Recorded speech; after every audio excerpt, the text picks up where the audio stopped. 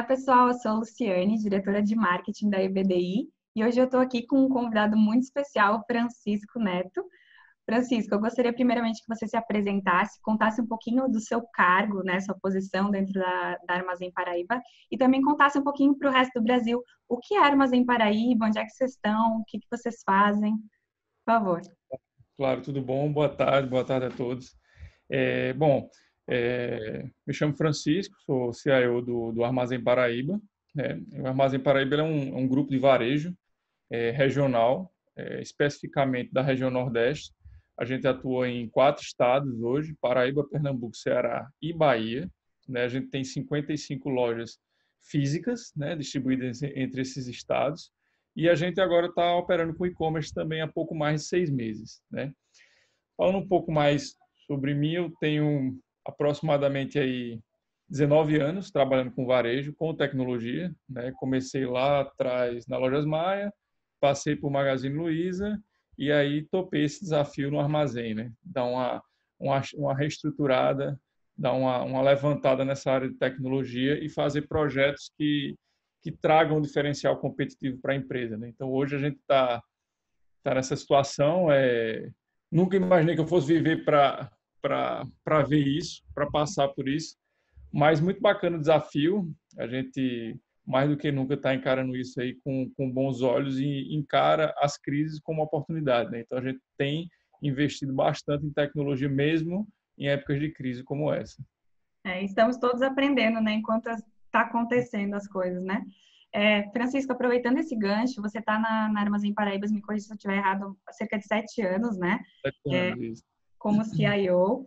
E aí, como um expert de tecnologia, qual a sua aposta para o futuro? Assim, o que, que, muita gente quer saber, né? O que, que vem nada melhor que você, como expert da, da área, para falar o que, que vem depois da pandemia Covid-19. É, obrigado pela, pelas palavras, mas assim é, é meio que uma bola de cristal, né? Uma coisa é certa, a gente sabe que a gente vai vai é continuar com a crise, talvez até um aprofundamento dela, né? É, o que vai ser um desafio para os pequenos, médios e para os grandes varejistas do Brasil, né? Mas a gente também entende que nada vai ser igual a, a antes da crise, né? Então muita empresa está se reinventando. Eu acho que esse é, a grande é a grande sacada é aproveitar esse momento que a gente está vivenciando hoje para continuar investindo, continuar modelando o negócio ah, para o futuro, né? É, não só as empresas elas estão mudando, como também os nossos clientes estão mudando, estão mudando seus hábitos, estão mudando suas formas, sua forma de consumir, né? Então a gente precisa acompanhar isso, né? Agora, é, como eu, quando eu disse que nada vai ser igual, a gente tem que ter muito na cabeça que também nada vai ser as mil maravilhas, né? E a gente tem que estar pronto para fracassar, né? Porque o sucesso ele só vem é, depois do fracasso. Então, a gente precisa continuar o investimento, precisa continuar o trabalho, precisa continuar a evolução, sem medo de errar, né? porque é, a partir dos nossos erros a gente aprende e vai fazendo uma coisa mais consistente. Né? Então, Exatamente. diria para você que a gente vai continuar, vai aprofundar a crise, mas os que vão sobreviver são aqueles que não deixaram de investir e que acreditaram no futuro. Em vez de colocar o pé no freio, colocar o pé no acelerador, então, né? Exatamente. De forma bacana. consciente, de forma consciente e consistente, né? Bom, bacana você ter falado isso, né? Porque muita, muita gente está falando de aceleração digital, né? Como ganhou força, né, nos últimos tempos, mas assim, você mais que ninguém sabe é, se isso, na verdade, pode estar sendo visto como aceleração digital e pode ser que não seja aceleração digital, mas enfim, o fato é que o Brasil teve que fazer várias coisas, vários movimentos, né, em prol da mudança, em prol do acompanhar esse isolamento social, né? As empresas tiveram que se reinventar de alguma forma, mesmo que não seja aceleração total digital, enfim, como as pessoas estão falando, mas elas precisaram acelerar de alguma forma seus processos e desburocratizar, né, algumas coisas para andar mais rápido. É, como é que você vê isso, né? Primeiramente, é uma aceleração digital, não é uma transformação digital? E o que, que você tem de legal aí que você teve que mudar de repente na rotina uh, sua como CIO que você vê como uma aceleração que seria bacana compartilhar com os colegas? Tá, bom, primeiro que eu acho que é mais instinto de sobrevivência do que aceleração digital, né? Assim, lógico, o brasileiro é um, é um povo muito criativo e, e a gente tem ideias assim que realmente é muito fora da curva da, da, da, do mundo, né?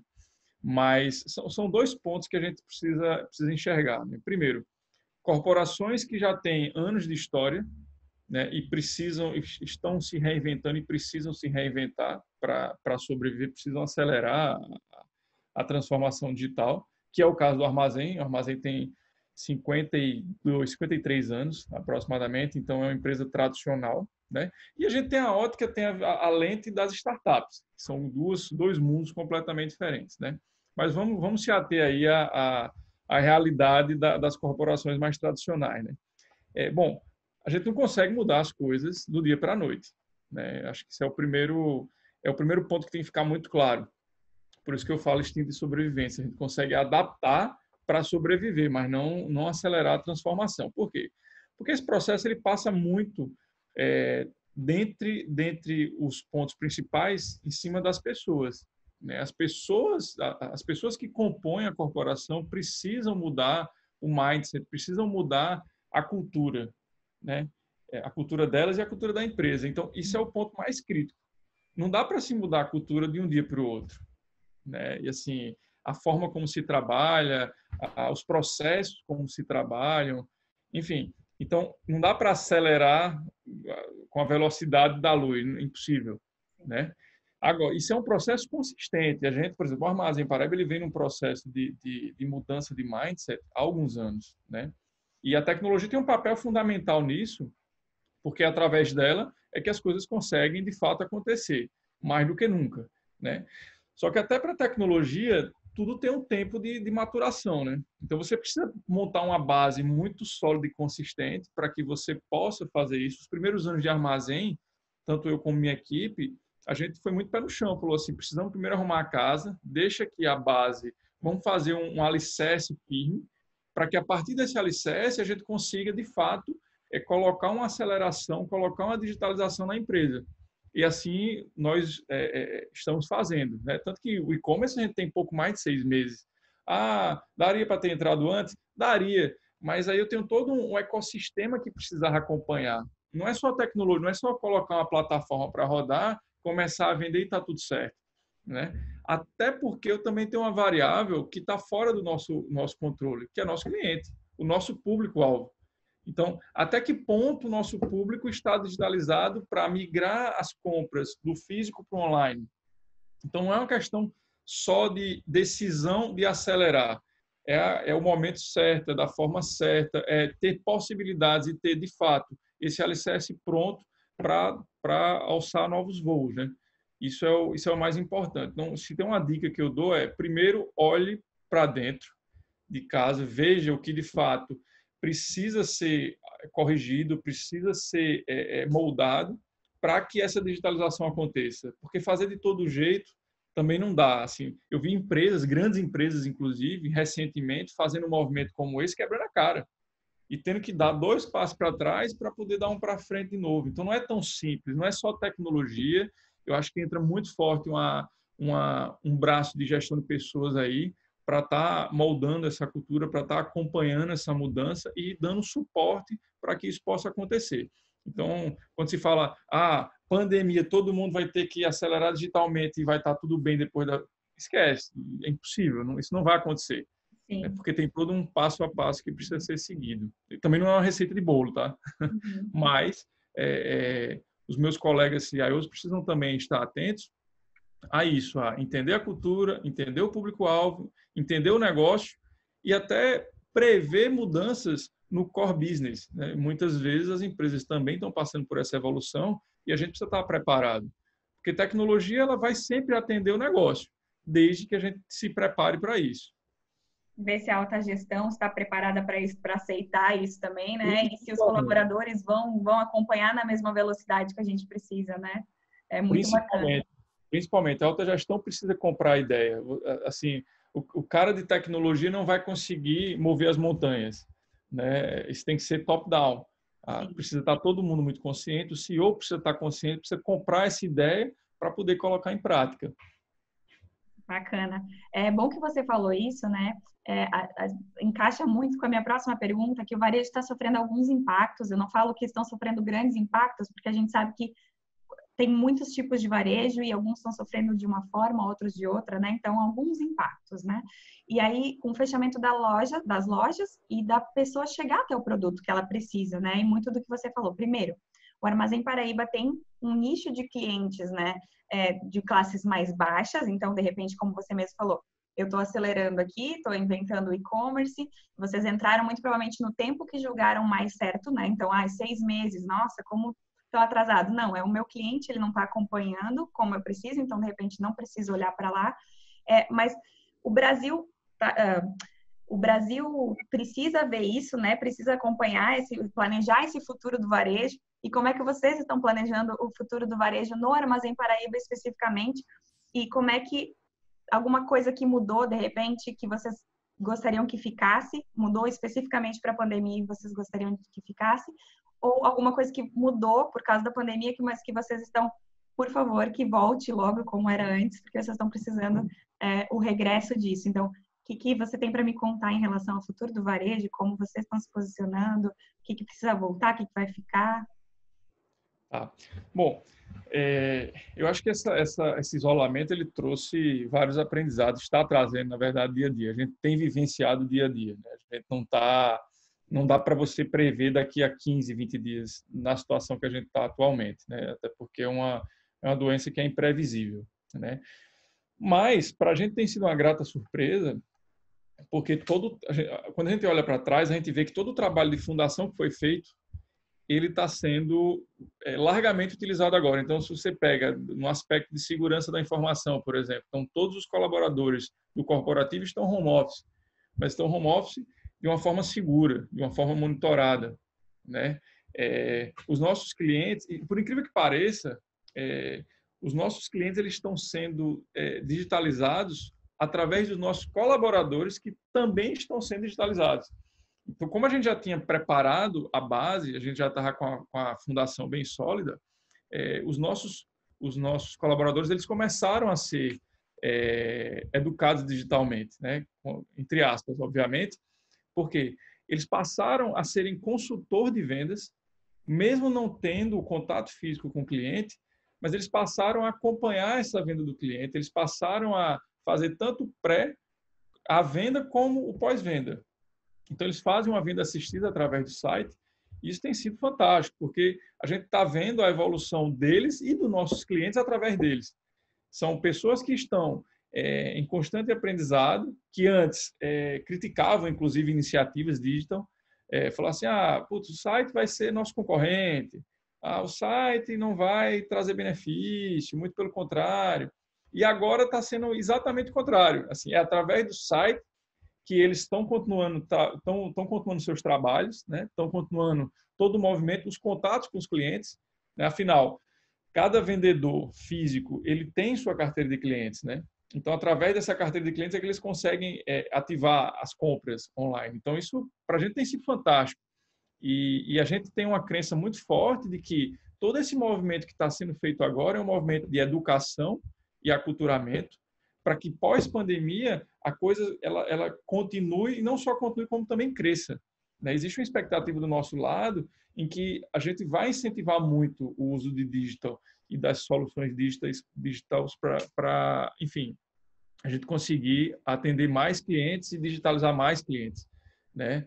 É, a gente a gente enxerga uma oportunidade muito forte de fazer com que esses clientes hoje que talvez não soubessem é, manusear um e-mail, que talvez não soubessem fazer uma compra por um site, estarem fazendo isso.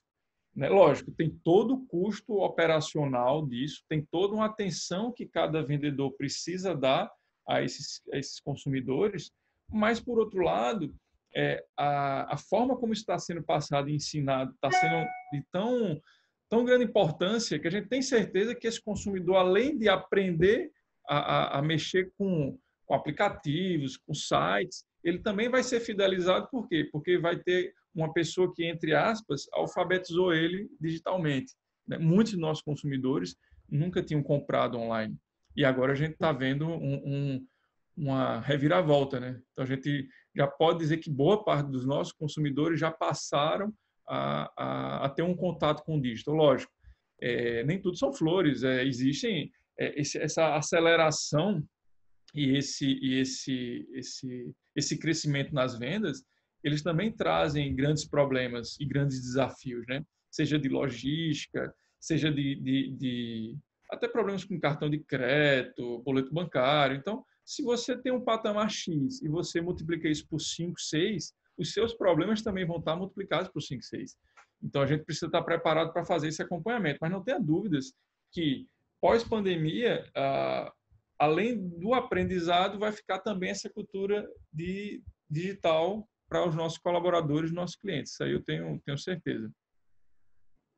É um novo tipo de influência digital, quase, né? É tipo, é, para eles não importa muito influência.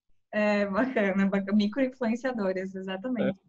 É, e segundo, internamente, assim, como é que está o, o, Armazém Paraíba? Vocês estão completamente home office, além de, né, dessa mudança muito legal, acho que sensacional você ter compartilhado, acho que principalmente para as empresas que estão sem, sem ter o que fazer ou sem ter ideias, né? Acho que foi muito bacana esse teu, esse teu discurso agora, muito legal saber. É, mas dentro da rotina da, do armazém, assim, dentro que, que, que, que aconteceu? Está todo mundo home office, está todo mundo em casa? Como é que foi essa migração para a equipe de tecnologia de vocês?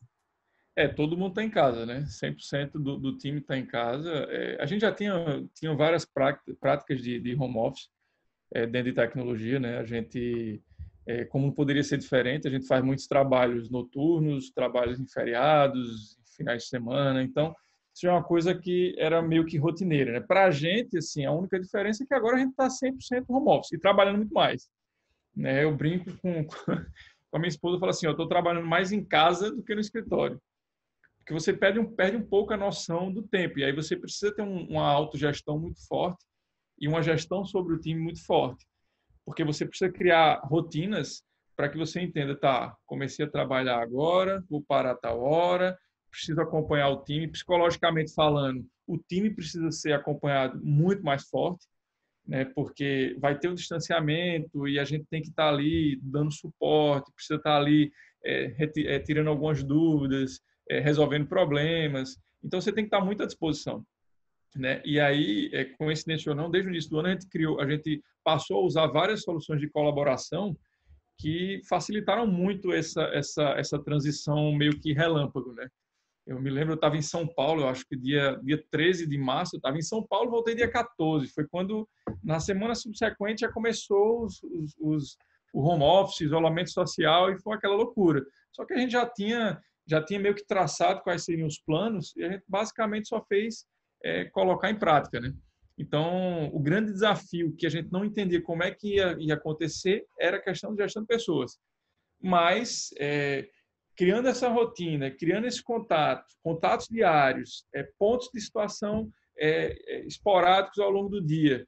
E aí você acaba conseguindo é, fazer uma gestão boa da equipe. A gente tem 52 colaboradores de tecnologia, então é um número que já é interessante, né? Então é bem é bem complicado você conseguir gerenciar a distância, não tenha dúvidas. Eu imagino, eu imagino, mas estão contando com outras equipes também para ajudar vocês, imagino, né? É, a equipe de RH auxilia vocês, dá uma mãozinha aí para. Está muito, muito, muito focado. É, acho que os psicólogos nunca trabalharam tanto né, da, da empresa, porque de fato é, é, a gente, a gente é, é, tem, tem feito acompanhamentos diários né, com, com os psicólogos, principalmente aqueles que estão precisando de, de, de um apoio, enfim. É, e eles estão sempre se colocando à disposição. Né? E a gente entende assim que, que esse apoio psicológico nesse momento é extremamente fundamental, porque tem gente que está entrando em paranoia. Assim, você só vê notícia ruim se você ficar vidrado no noticiário, é só notícia ruim. Então, de certa forma, é, é importante porque eles sempre passam dicas é, de como você fazer para distrair sua mente, de como você fazer para não não ficar focado só em notícias ruins, é, foque no estudo, foque no trabalho. Então, essas dicas acabam sendo bastante interessantes e, e esses atendimentos também estão sendo feitos online. Né? Então, acaba, acaba sendo um, uma situação bem, bem recente, bem nova para a gente também. às vezes são óbvias, né? Mas você ouvindo de um profissional, ouvindo de alguém, é só o que você precisa, aquele amparo, né? Aquela necessidade de, de desisolar, né? Sair do isolamento. Muito legal.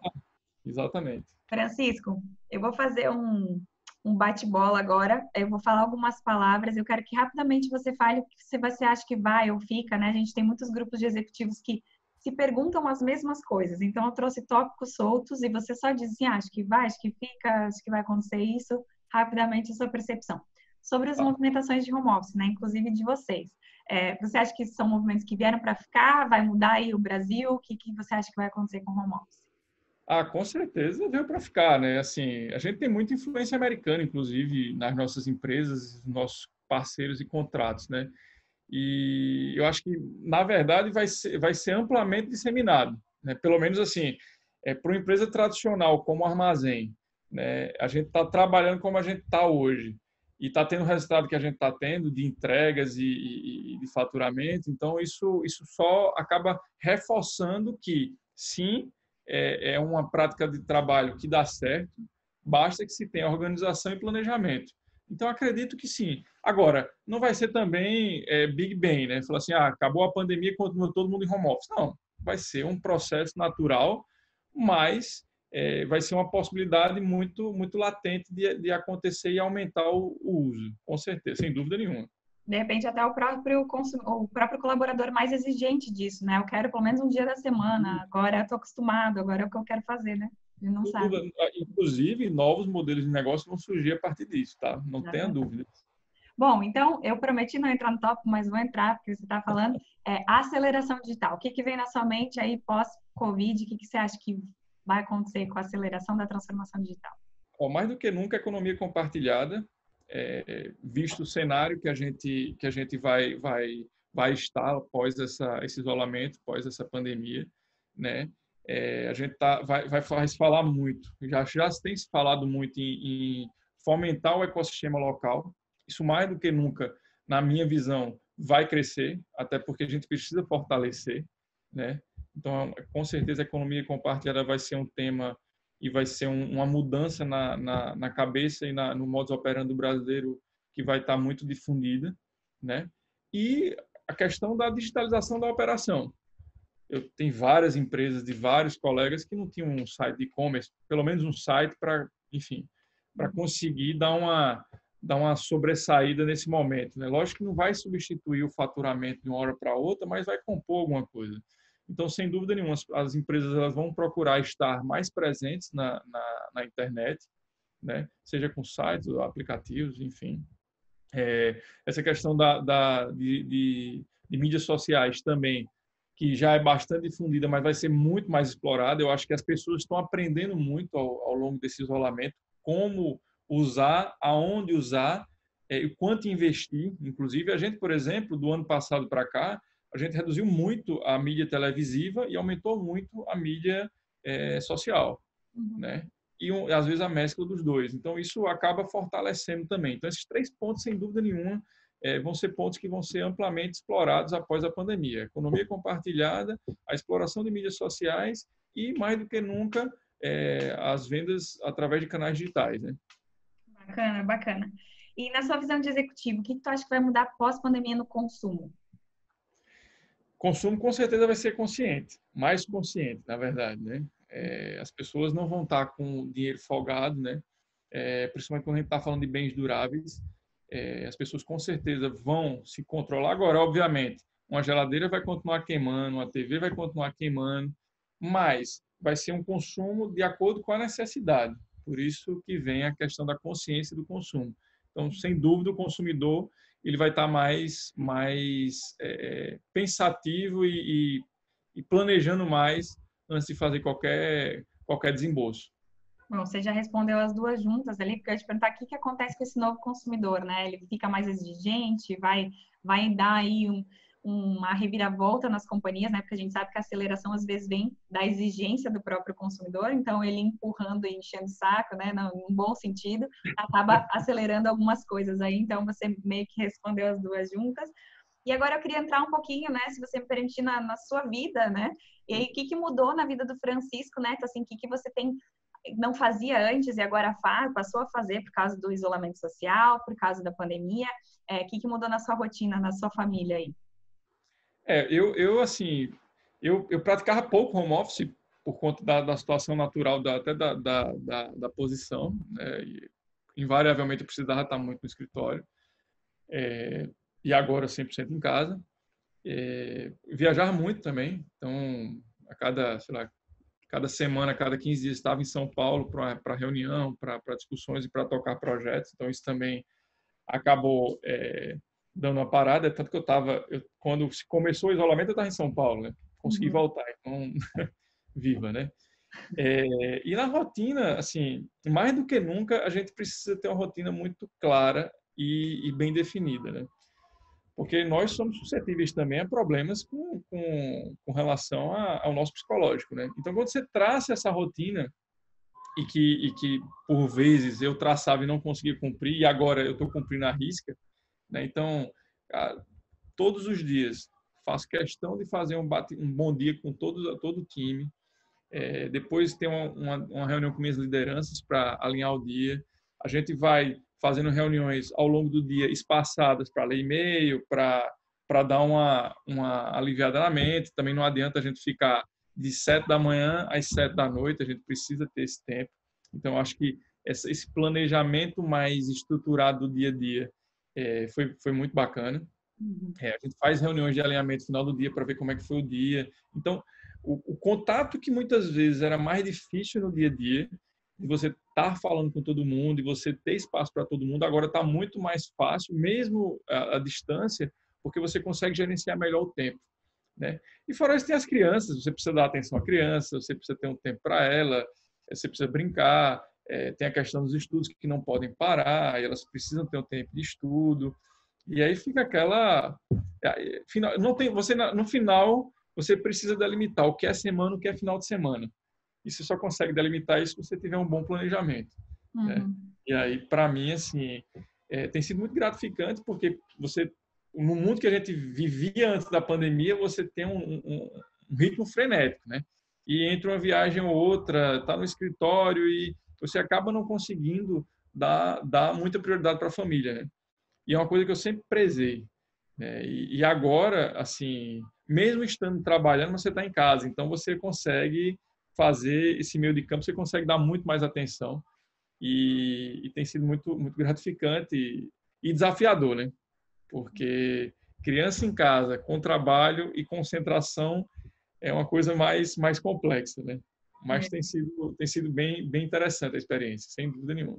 Bom, de qualquer forma, a esposa e os filhos estão muito felizes, com certeza, aí que o pai não está viajando o tempo inteiro. Bacana.